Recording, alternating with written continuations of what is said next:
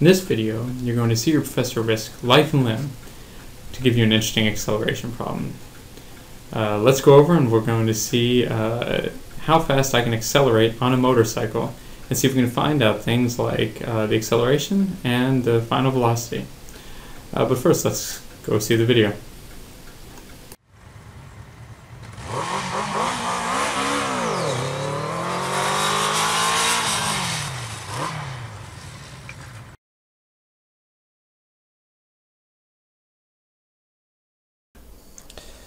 So now um, we want to go ahead and try to find uh, both the um, uh, the two things. Uh, one, of course, is I would really like to know what my acceleration is, um, and the other thing I'd like to know is uh, what was my final velocity.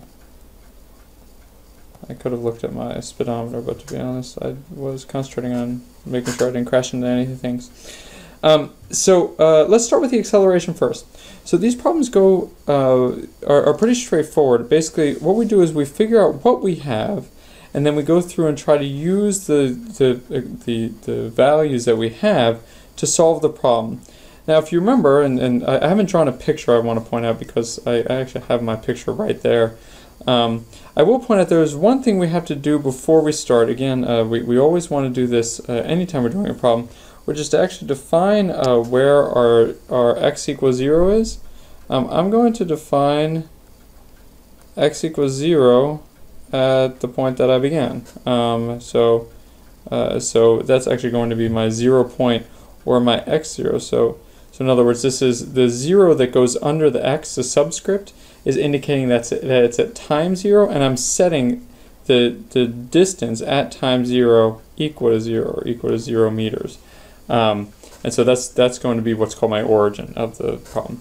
That'll be important as we go along. So we can actually start writing that. We know that x0 is equal to 0 meters. Let's write else what else we know. We also know um, the velocity at the beginning. Uh, that's 0 meters per second. I'm not moving at all when I start out. Uh, we know the time zero, we've actually set time zero equal to zero, uh, which again, we kind of have to to use these equations. We have to set time zero, uh, the, the t zero, our initial time at zero.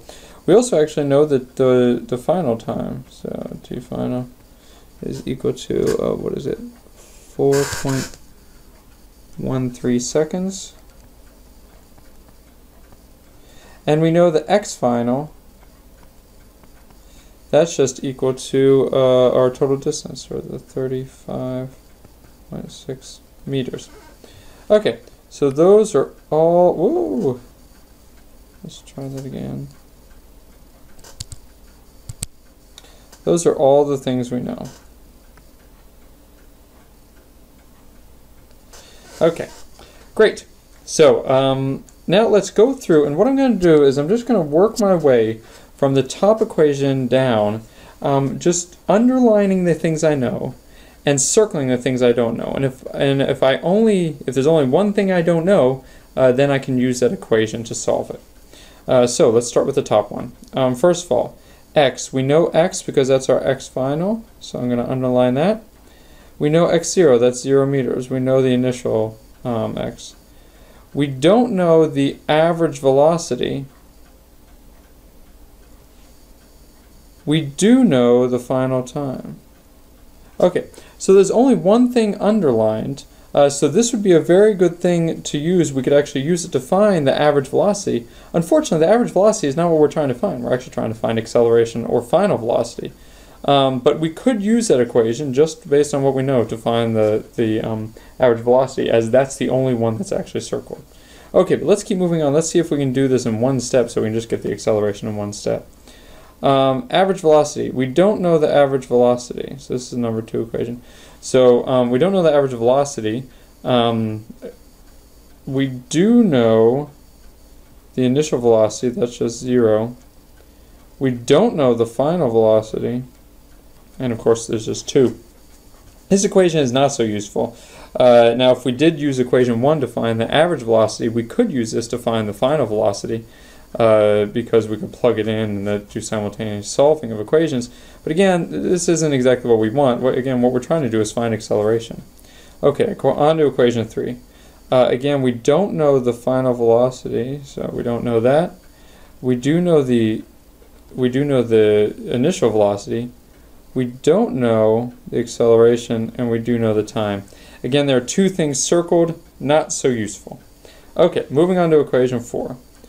We do know x at the end. That's our x final. So we do know that. We do know our initial x. That's just what we said equal to 0 meters. We know our initial velocity. That's just 0. We're starting out at rest. We know our time. All right. 1 half is just a number. We don't know our acceleration. And we do know our time. Okay, this is the one that we want. As you can see, what we have is we have only one thing circled. There's only one thing in that equation that we don't know, which is the acceleration. Okay, which is actually what we're trying to find, and we know everything else. So let's start using that equation. Okay, so I'm just going to write this down. x is equal to x0 plus v0t plus 1 half at squared. Now, I'm going to go through and see if I can make this equation a little easier. One thing I can do right off the bat is actually just cross out x0 because that's equal to 0. I can also cross out this v0t term because v0, the initial velocity, my initial velocity is 0. I start out at rest, and because it's 0 times t, 0 times anything is just 0, so this whole term is 0 as well. So now I have a much simpler equation, which is x is equal to 1 half at squared. Well, that's much easier to deal with. And now uh, I'm interested in the acceleration. Let's go ahead and solve for acceleration. So first I'm going to multiply both sides by 2. So I'm going to get 2x is equal to a t squared. And now I'm going to divide both sides by t squared. So then I'll get a is equal to 2x divided by t squared. And that's our final equation. Now all we have to do is plug in our numbers. So we get um, 2 times, uh, let's, I, don't, I shouldn't use an x for times. Oops. Um, let's do 2 times, uh, what's our x final? That's 35.6 meters. Our time final is 4.13 seconds. And again, that's squared. And that should give us our acceleration. We can go ahead and plug all of those numbers into our calculator. And in the end, we get 4.17.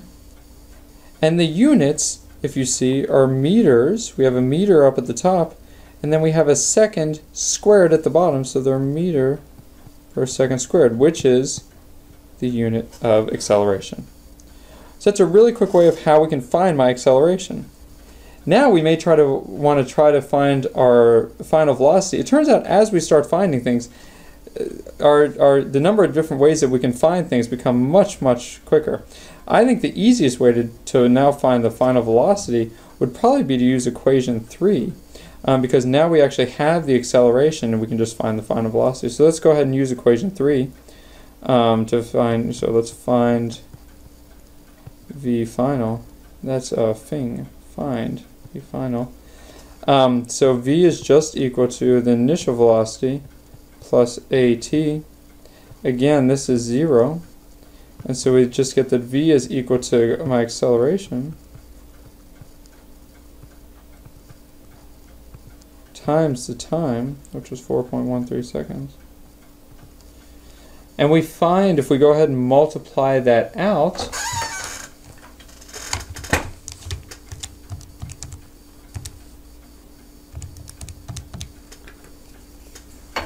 that I was going at the end around 17.2 meters per second, or around 35 miles per hour, which sounds um, correct. And again, our units work out. We get a meter per second squared times a second gives us a meter per second. There are many other ways that you could have found that. You could have found that final velocity using equation 5. You could have found it using um, uh, a combination of equation 1 and 2. Uh, so there are many different ways to get that, uh, but those are kind of the simplest ways that I see to get this.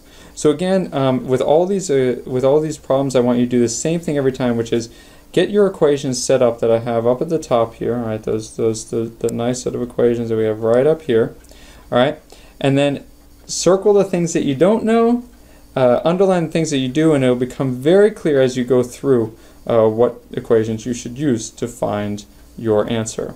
I hope that was helpful, and I'll see you in class.